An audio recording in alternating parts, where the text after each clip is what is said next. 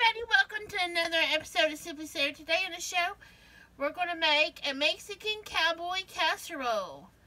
So, in a bowl, we have got some ground hamburger that we have fried up in a skillet to get them done, no longer pink.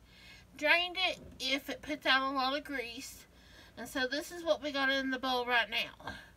Now, Betty's still my helper in the kitchen because I still can't do anything with that hand. It's getting better. But it's hard to hold on to a bowl with the injured hand and try to mix at the same time. So, let's get to making our casserole. Now, you could do ground turkey, fried up ground chicken. Um, I just did hamburger. Two eggs um, some chorizo, uh, brown you up some chorizo. That would be good.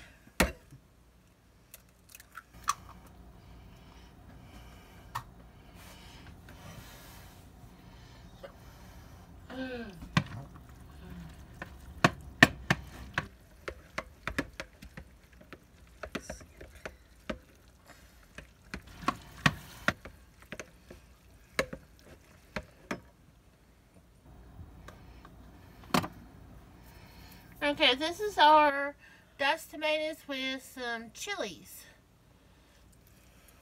With the juices all goes in.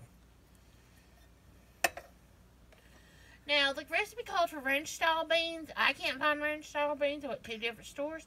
So what I'm using is chili beans with their sauce.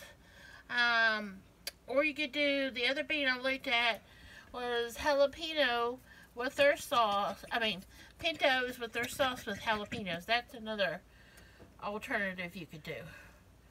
But it said it had to be something with a sauce on them. So I guess if you use black beans, you would not drain them either. So a can of drained corn.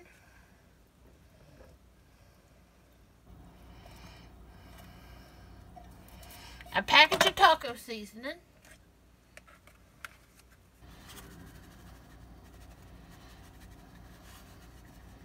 You can put you some chopped onion up in here if you want to.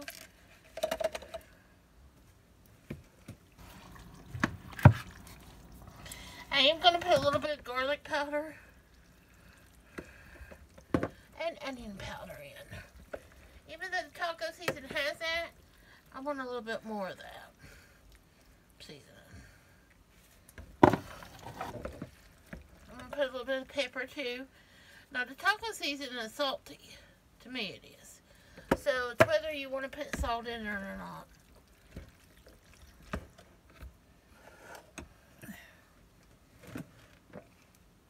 Cheddar cheese goes in.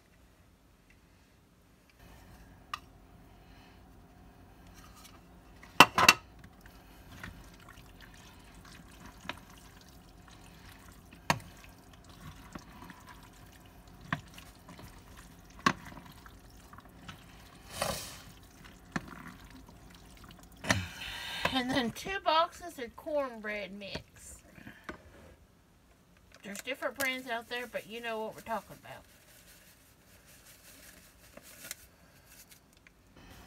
Jiffy Mix. Well, there's other brands too. We're just going to mix it together. The recipe said you might need a splash of milk or two. So we're going to mix that in, and then I'm going to get some milk.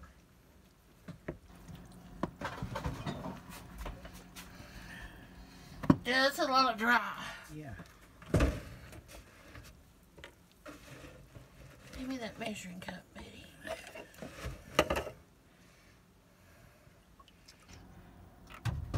We're gonna start with a half a cup. See what it does. Well, I think I think we're gonna need a whole cup though. More. Yeah. Bring me that measuring cup. Let me get him stirred. I don't know if you're going to need another thing or not. It's all yeah. So dry. We'll just say it's half a cup. Whoop.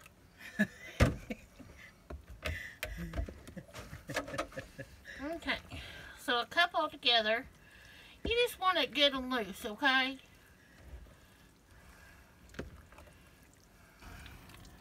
Now what we're going to do is put this in a sprayed casserole. We're going to put this in a sp- sprayed casserole dish so it won't stick. And then put it in the mi- uh, I almost said microwave. Lord help me. The oven to back whatever your instructions say on your cornbread mix, okay? Mine says, let me read it, hold on. 425. 425. No, 400. 400. 400. Okay. And then we're going to bake it from about 20 to 30 minutes. We'll come back when all that's done. And I'm going to let it cool for about at least about almost 10 minutes before we start cutting it. And I'll show you the the garnishes that you serve it with.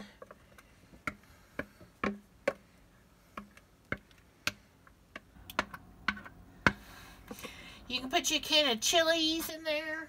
That little little can of chilies if you want to. Put you some hot sauce up in here.